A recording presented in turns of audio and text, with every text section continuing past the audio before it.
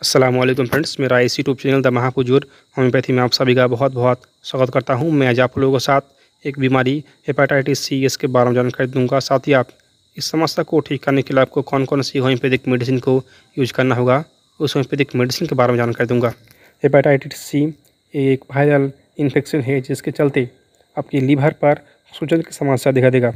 और आप इसकी इलाज ठीक समय से अगर आप नहीं करते हो तो उसके चलते आपके लीवर में कैंसर की भी समस्या दिखा देगा। पहले हम जान लेते हैं इस समस्या होने के कारण। इस समस्या होने के जो पहली कारण है, वो है हेपाटाइटिस सी वायरस और दूसरी कारण है ब्लड में इन्फेक्शन अगर आपकी ब्लड में किसी तरह की ये इन्फेक्शन रहती है तो उस इन्फेक्शन के कारण ही इस हेपाटाइटिस सी समस्या दिखा दी अब हम जान लेते हैं इसके सिम्टम्स के बारे में। और आपको लंबे समय तक इस हेपाटाइटिस सी की समस्या रहती है तो उसके चलते आपको क्रोनिक हेपाटाइटिस सी की समस्या दिखा देगा। ये समस्या होने के दौरान आपको भूख नहीं लगेगा शरीर में थकान, कमज़ोरी, आँख का रंग पीला हो जाना और शरीर की रंग भी पीला हो जाना, साथ ही पेशाब का रंग काला और शरीर पर खुजली, हाथ पैर में सूजन, हाथ पैर फूल जाना और वज़न कम होना, साथ ही एंजाइटी डिप्रेशन और शरीर में बुखार, सर्दी, जुकाम और मांसपेशी में दर्द। इस तरह के सिम्टम्स आपको इस हेपाटाइटिस सी होने के दौरान दिखा देगा।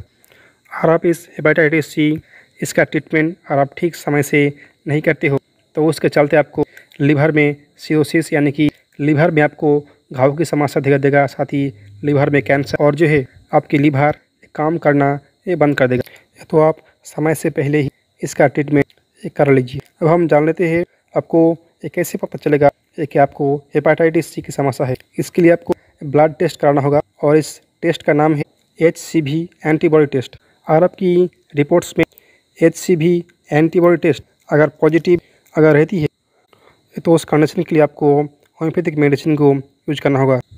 अब हम जान लेते हैं इस हेपाटाइटिस सी समस्या को ठीक करने के लिए आपको कौन कौन सी होम्योपैथिक मेडिसिन को यूज़ करना होगा। इसके लिए पहली होम्योपैथिक मेडिसिन है चिलोडिनियम थर्टी इस चिलोडिनियम थर्टी होम्योपैथिक मेडिसिन को आपको दिन में दो बार, दो बूंद करके आपको एक बार दोपहर के टाइम और एक बार रात के टाइम आपको खाना खाने की आधे घंटे बाद यूज़ करना होगा।